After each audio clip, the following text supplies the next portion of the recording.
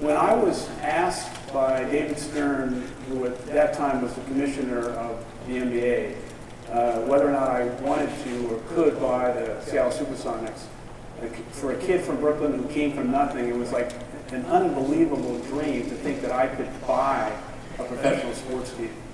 Um, and the truth of the matter is that when the price of the team was kind of put in place, uh, it was clear to me that I didn't have enough money to kind of buy the team myself. I would need outside investors. And there was a second group who was also interested in buying the group, buying the team, and we decided that we were going to come together and make an, a single offer. So we ended up with actually two groups of people who didn't know each other very well, came together to buy the Sonics. And although I was the largest shareholder in the team, I was not the majority owner. And so there was a board of directors, there were investors, like almost 50 people.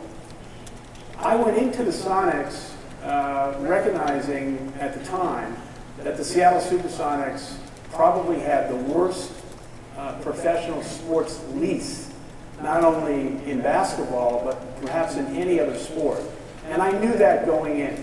And I had the personal belief, and at the time the naivete, that I would be able to convince the city council and the mayor that we were buying the team and that we couldn't possibly make a profit, but we didn't want to lose so much money. Could we renegotiate the lease to make it more equitable? And despite the fact that we tried with the city council and the mayor in so many different meetings, it was obvious that the city, after building a football stadium and a baseball stadium, the political powers at the time were not interested in doing anything to help the owners of the Seattle Supersonics try and renegotiate the lease or do anything to help us. So for five years, we went forward. Uh, the team did well one year, not so well in the other four. And each year, uh, we were not only losing money, but each year we were losing more money than the year before. We weren't selling out uh, because the team did not do all that well.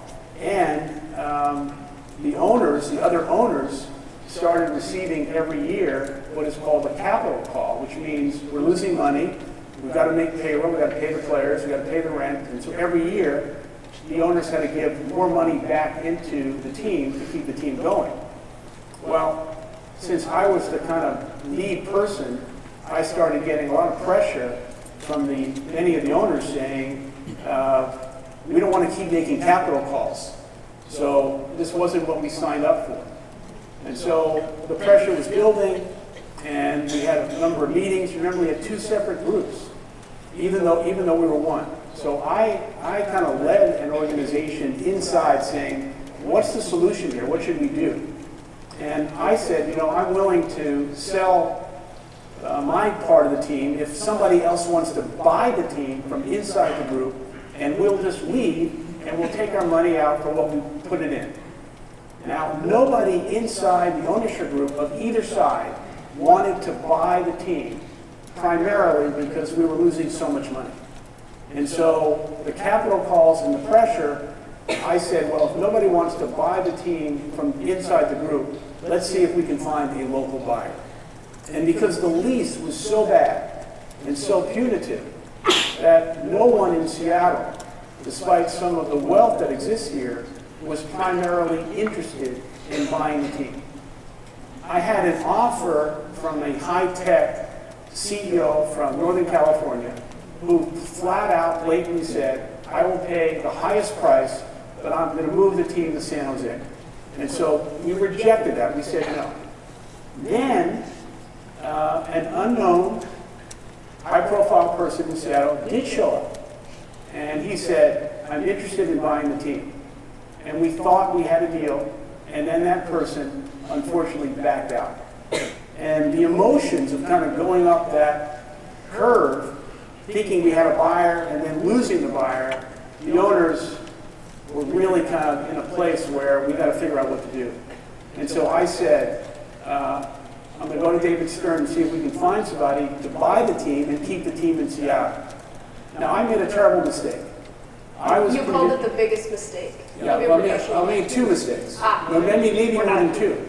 Uh, the mistake I made was I was convinced that if an out-of-town buyer were to buy the team, that the city of Seattle, the mayor and the city council would understand that an out-of-town buyer bought the team, and if he doesn't re- renegotiate the lease and get the lease deal that he deserves, he's going to take the team and move.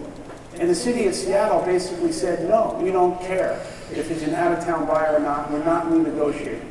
And I was convinced, that was a mistake I made, that if an out-of-town buyer was here and showed up, the city would acquiesce, and work out a deal. The city said no, and this guy said to me, I'm going to leave. And then I was just crushed that I had made a terrible, terrible mistake. And, and the judgment was wrong. And, you know, what I say in the book and what I said publicly, every time I, I see a kid with a Seattle Supersonic jersey, I realize I broke that kid's heart. Uh, this is going to be generational.